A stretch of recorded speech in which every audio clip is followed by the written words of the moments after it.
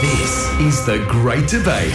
Today's topic if the Matildas win the World Cup, should we get a public holiday? Yes. Simple as that. Are we ready to go? Yeah, I'm ready. Your 30 seconds starts now. I don't care if it was a fly eating competition and then we got a public holiday for that. If I get a day off work for any reason whatsoever, whether it's about the Matildas or not, then I am for it. but I must admit, after watching them the other night, I'm totally on the train. I think what they've done for our country is absolutely phenomenal. And at the end of the day, if we get another public holiday to celebrate that, then we all win in my eyes. I don't know why anybody would be against it, to be honest. I think it's great. That's it. That's all I think.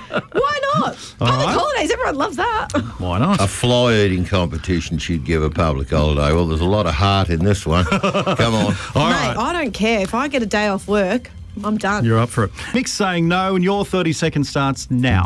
I tell you what, it's um, it's it's a very good, great thing for a politician to say, let's have a public holiday. It costs the, uh, the Australian economy, according to AMP economists, around nine billion dollars.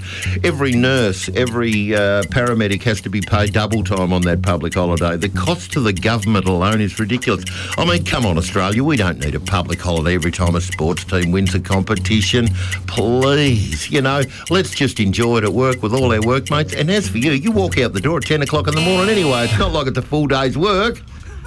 We debate Thank all you. the we we debate all the time trying to justify us walking out the door, and now he's just made it sound like it's bad.